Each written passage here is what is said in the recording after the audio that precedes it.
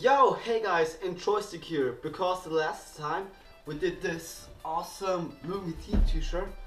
Louis T. Yo, hey guys, and enjoy secure. Today I'm going to show you how to get Adidas shoes for free. Because the last time we made a really good looking LV t-shirt. I'm going to show you how to get Adidas shoes. Let's go. Okay, first step is to print your shoes. So we're gonna do this right now.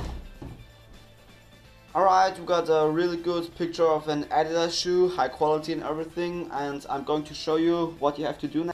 So yeah, um, I cuted them out. Um, I'm pretty stupid because I have two left shoes. Yeah, but I'm going to stick them on my shoes. Let's go. Alright, uh, I hope you aren't as stupid as I am because it looks really stupid.